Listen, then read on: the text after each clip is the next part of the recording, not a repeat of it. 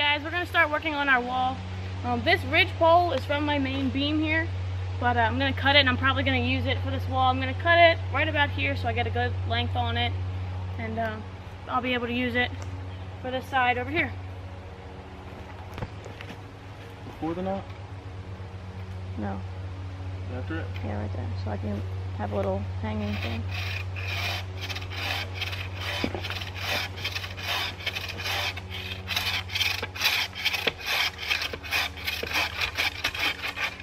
Nice. Ugh. In the log pile. Yeah, just enough.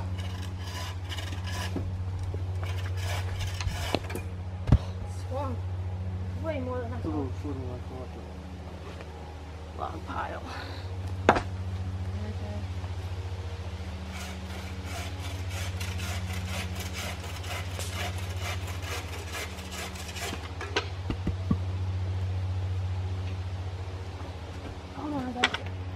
so since I'm working on this back wall here, I'm going to peel this tarp back and fold it over a little bit. That way it's not in the way. So I can drive some stakes and get this wall figured out.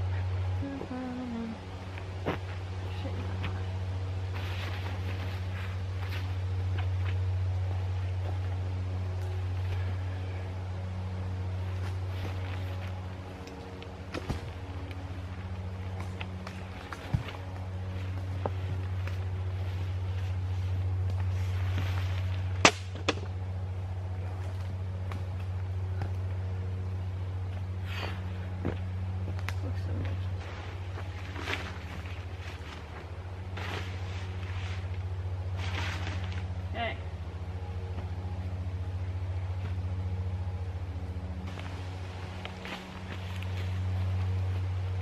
So this tree is the second tree that we cut yesterday for Zach's that um, we didn't wind up building. But um, this is going to be good for stakes to help me pound it into the ground and keep my wall pretty straight. So I'm going to cut this. I'm actually going to clean it up first.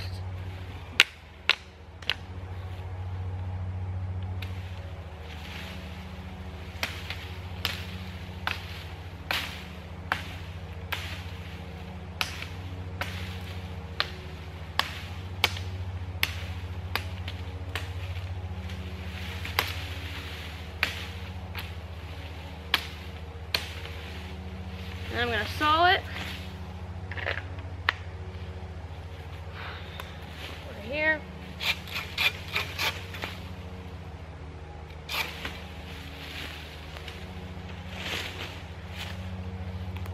And this is going to be a good stake, maybe two, to help keep the wall supported and keep them logs stacked straight.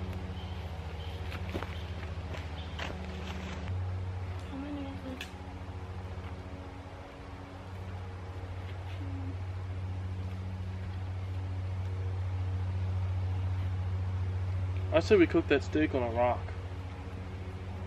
Is that a rock? On a corner.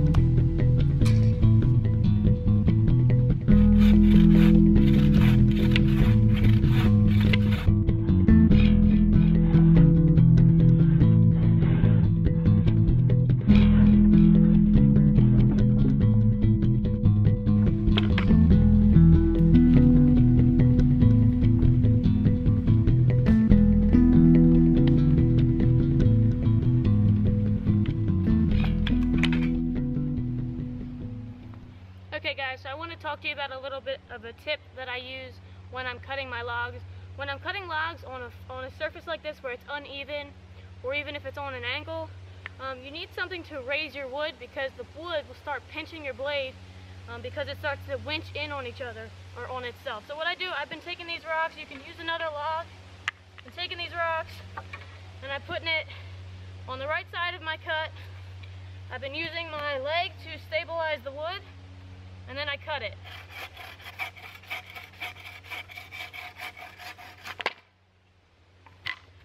Sometimes the rocks will fall over, it's fine. Like I said, you can use another piece of wood, but that um, prevents the wood from pinching in on itself and that could damage your blade or even break your blade and that's not a good situation to be in when you're out here. So just a little tip for you guys while you're cutting wood to help you hopefully save your blade save your saw.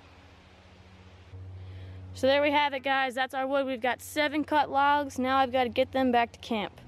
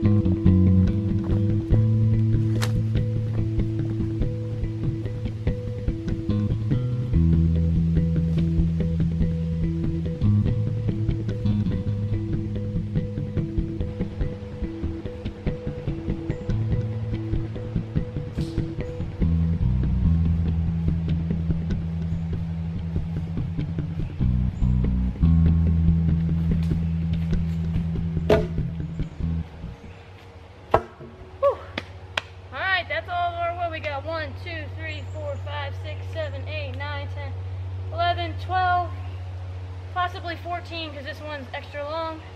14 pieces of wood. And I got another tree over there that I could use if I need it. I don't think I will, but I'm gonna take a little bit of a break, rehydrate, and then we'll get to putting the wall together.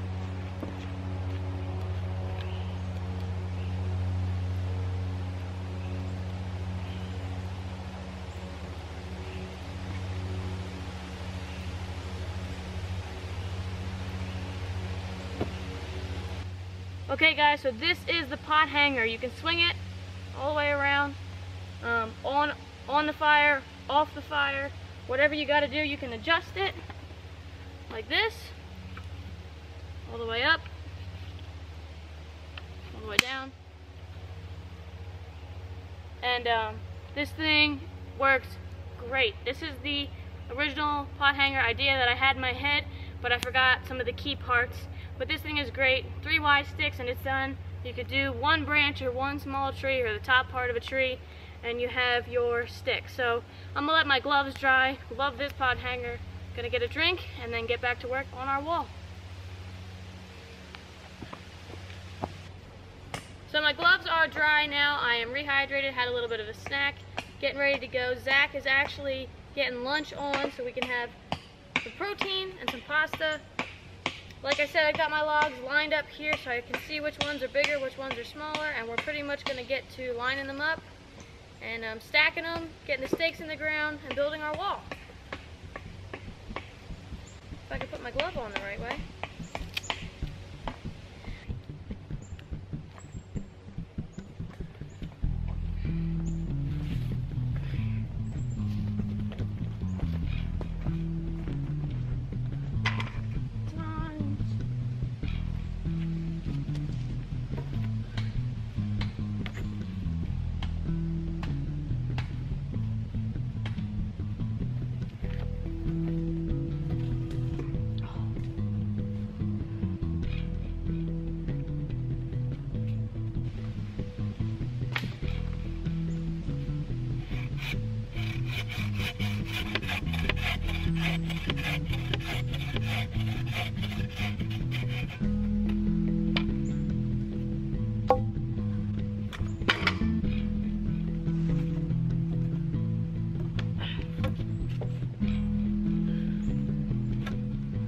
Perfect. God, I'm good. So while I build my wall, Zach is going to make the bench a little bit better, more equipped to him. Um, it's a little bit short, a little bit low to the ground, so he's going to raise it a little bit. He's going to level it out. We got the shovel out here. He's digging out right now, and uh, this this bench should look pretty good.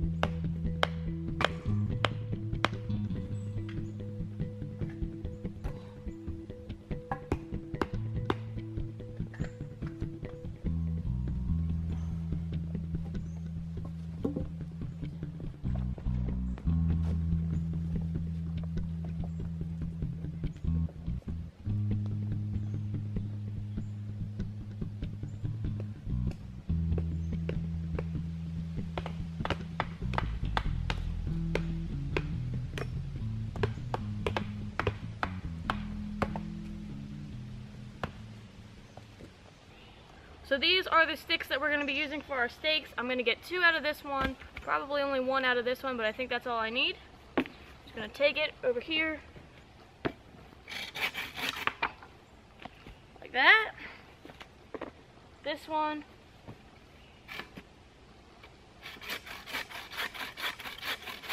Like that.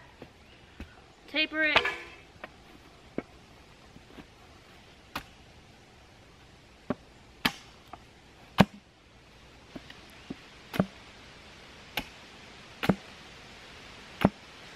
Alright, that's one.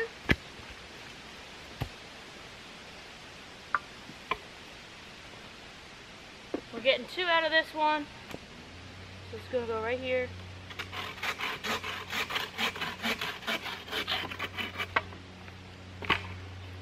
Taper it.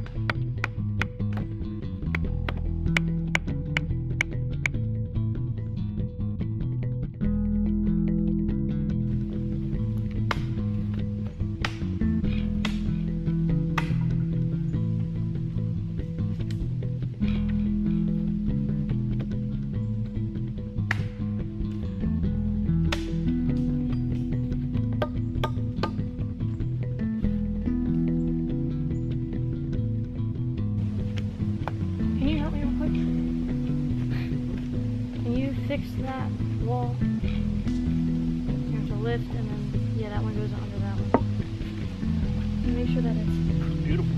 straight, right?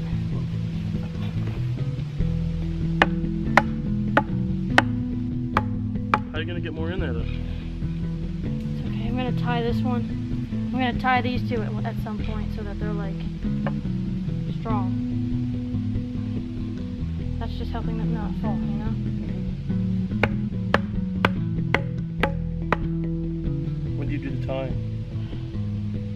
Once it gets to about here, maybe How high do you have up that- to? You probably have to about here. Yeah, I got a couple more. That's a good height. You can almost leave a window. Like,